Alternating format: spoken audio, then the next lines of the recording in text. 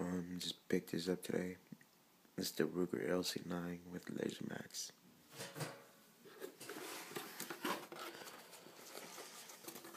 Here's the case that comes with it.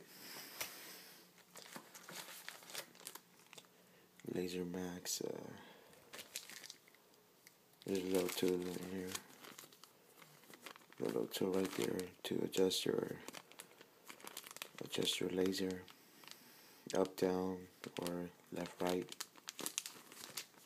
So you need you're gonna need that to sight in. Little hex tool. Comes with the um, magazine bottom plate, either with a finger extension or just a regular extension. um, just plain old instruction manual. You don't you don't want to see what's in there anyways. And here's the Ruger set.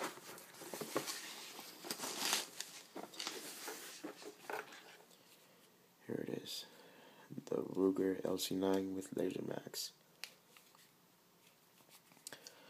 Laser Max, um,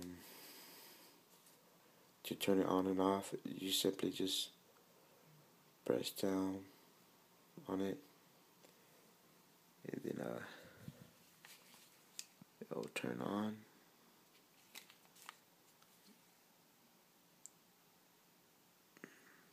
Right around there. And then uh, to turn it off, simply just press this button. So it's just a little push of the button right here. Right there, you push that in like that. Then turn comes on. Push it out on the other side. Then turns it off. So it could go both ways. Um, the Ruger LC9. I haven't sighted in yet, so um, I'll let you guys know how it shoots with the LaserMax on there. But I'm pretty happy.